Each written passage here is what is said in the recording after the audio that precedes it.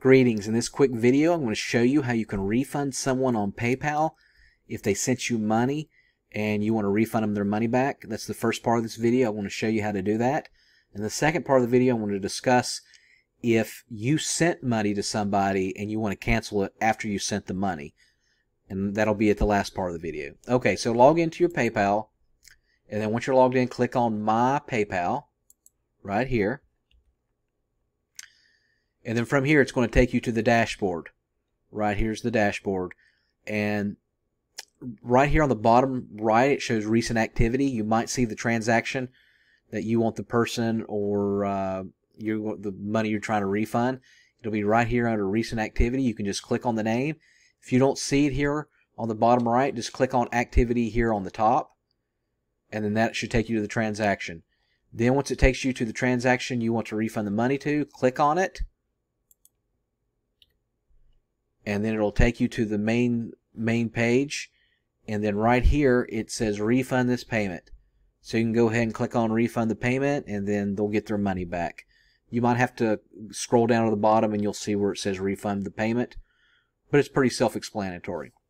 Okay next part of this video is can you cancel a transaction once you sent money on PayPal? So in this particular situation here's a transaction that's completed and it says payment status completed.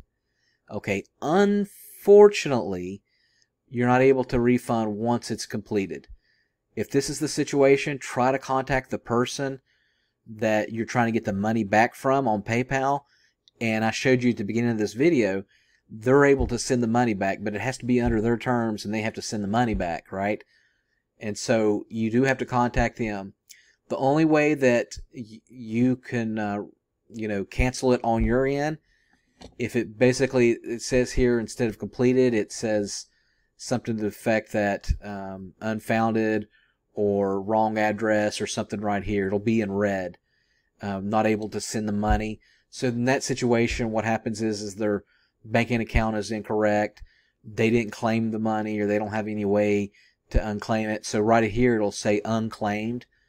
And in that situation, you can, if you sent the money, you can claim the money back if if they're not responding and it says if it's in red. So unfortunately, that's the only way that you can get your money back um, and cancel it on your end if you're the one that sent the money. Alrighty, thank you for watching and make sure you subscribe.